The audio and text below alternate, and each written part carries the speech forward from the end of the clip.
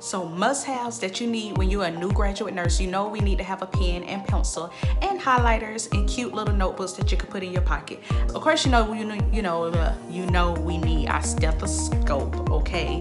Now listen, I'm just gonna go ahead for the ladies. When you're working those long hours, um, please be advised that you need to have extra pads tampons, extra underwear, also a cute little clipboard. So I used to have this cute little hot pink clipboard, which I, I actually still have that clipboard is somewhere around here. And you can open it up and put your papers in there and all your important stuff in there and you have everything at one space so instead of trying to find a napkin even though i know how we get busy as nurses you just try to grab something and write down jot, jot, jot down your notes you can have an actual clipboard. To me, these are very important things to have. Of course, you need a watch and all that. You know, of course, you need your, your scissors and all that good stuff like that. Our pockets in, are always so full, right?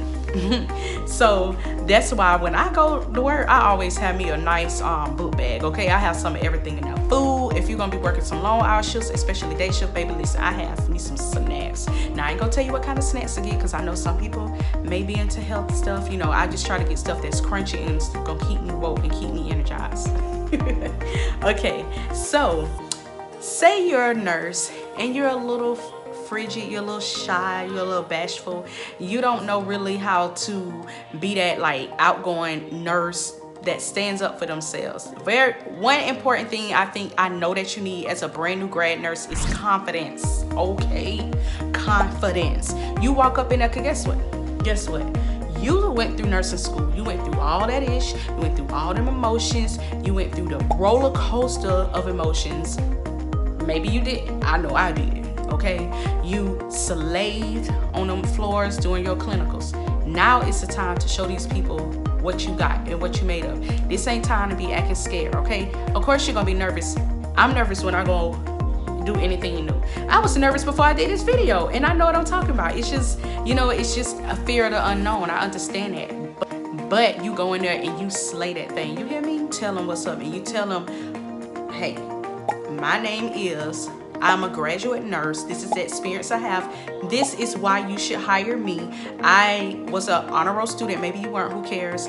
These are the awards that I earned in school. These are the things that I did, something very different that you did while you were out on the floor. You know, they like to hear about stuff like that. They want to know, get to know you because they don't know you from Adam and Eve, right?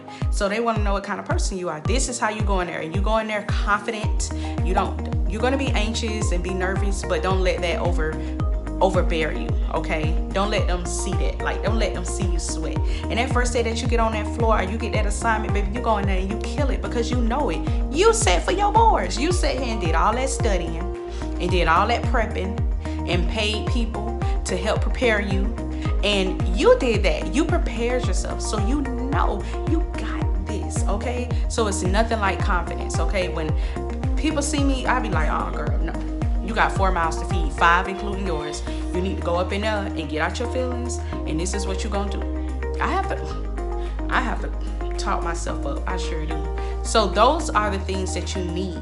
Okay, confidence is number one. Everything else can fall you you need, but confidence is number one because your patients can tell when you're not confident. The family can tell when you're not confident. So confidence is everything. How to build it up, affirmations, remind, reminding yourself who you are and whose you are okay